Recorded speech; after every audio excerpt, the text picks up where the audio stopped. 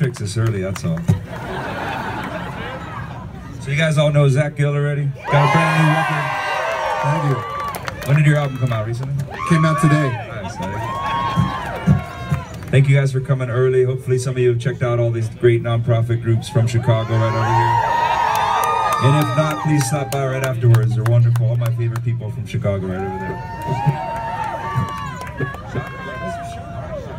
there. That's for you.